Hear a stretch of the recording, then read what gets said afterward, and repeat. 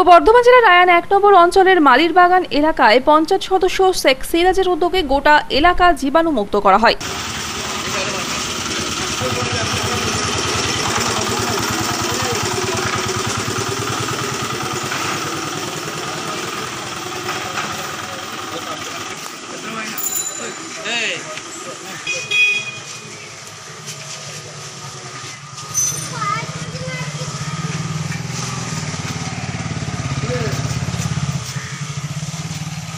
এদিন পঞ্চায়েত সদস্য জানান এই জেলা জুড়ে করোনা আক্রান্তের সংখ্যা বাড়ছে। এইরূপ পরিস্থিতিতে এলাকাতে জীবাণুমুক্ত করার জন্য এইরূপ কর্মসূচি গ্রহণ করা হয়েছে।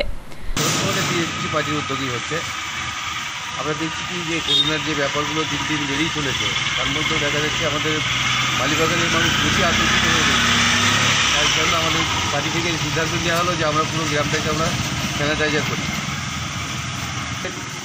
হ্যাঁ, পাঁচ নম্বর সংসদ এবং সাত নম্বর সংসদগুলো করা হচ্ছে। বর্ধমান থেকে সুমিত ভগতের রিপোর্ট আনন্দ